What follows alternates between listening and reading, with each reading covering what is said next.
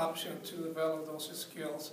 And um, I'm originally from Venezuela, and most people when they're coming from the Caribbean, they stop in Florida because of the weather, and they don't get all the way to Wisconsin or Minnesota. so nobody is as crazy as me to go all the way up. Um, but I can tell you that how valuable it was for me to uh, lead uh, I was leading some businesses in Venezuela, and when I moved, a lot of those skills were transferred transferable skills to the job that I do today.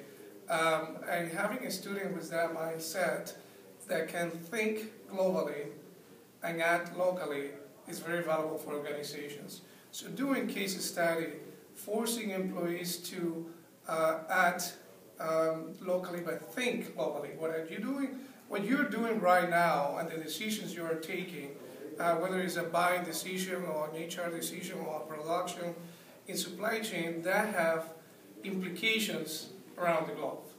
Um, the other point of view, I will say, for me, when I came, I have to learn a lot of things about Minnesota. Like I have to learn a lot of things about uh, the U.S. You know, you don't go right to business. You first talk about football and how his family and the kids, and you had chat, and then you go into the business, right? Um, it was a learning for me. So I took the time to try to learn how you go around and even some of the um, the words that we use, like you betcha, that was you betcha. What do you mean by you betcha? Gotcha. Uh, you gotcha. Um, it was a great learning experience for me.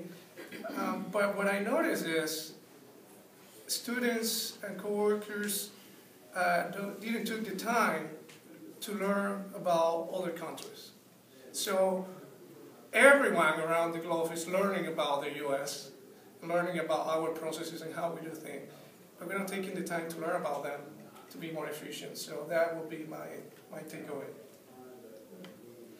Um, from Cargill's perspective, from my perspective personally, I guess, uh, just networking with diverse groups on campus, just learning, I mean, within each campus there's such a diverse population typically, and I'm just learning from classmates, uh, you know, different challenges, uh, know, that they see within business, and maybe their country of origin or something like that, I mean, that can be really helpful.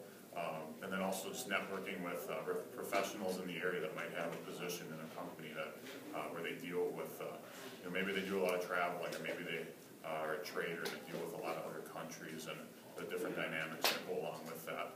Um, almost in any role that you're in in Cargill, you're going to have some kind of a global touch on, uh, you know, work that you do. So even for my position in, in operations, I, I, work at a grain elevator just south of here, 20 miles.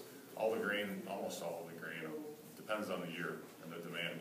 Uh, but a lot of the grain will go overseas. A lot of the grain will go over to Central America, South America, uh, Asia. So uh, so we have to know what the quality is that they're looking for. We need to know, uh, you know, the food safety standards that they're looking for, and uh, you know, different traits in the grain that they're looking for. So um, the demand uh, internationally and globally is just uh, so big, and and you know, you can experience that in almost any, any position within a company too. So again, internships are so valuable, and through an internship, you'll see that as well because those internships are tied to you know, some kind of a full-time role that that person could potentially have after college.